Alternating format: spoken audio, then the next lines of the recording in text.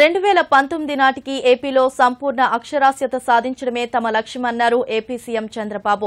గతంలో టీడీపీ అధికారంలో ఉన్నప్పుడు పదిహేడు శాతం అక్షరాస్యత సాధించామని బాబు గుర్తు చేశారు. కాంగ్రెస్ పదేళ్ళ పాలనలో కేవలం ఆరు పాయింట్ ఐదు శాతం మాత్రమే అక్షరాస్యత పెరిగిందని ఎద్దేవా చేశారు. విజయవాడలో జరిగిన అంతర్జాతీయ అక్షరాస్యత దినోత్సవంలో మహిళల సమస్యలను అడిగి తెలుసుకున్నారు బాబు.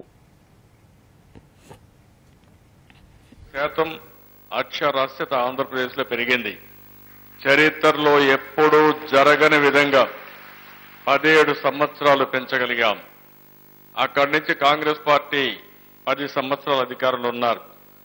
ఈ పది సంవత్సరాల్లో ఆరు పాయింట్ ఐదు శాతం మాత్రం అక్షరాస్యత పెరిగిందంటే ఒకటి బై మూడో భాగం కూడా చేయలేకపోయారు.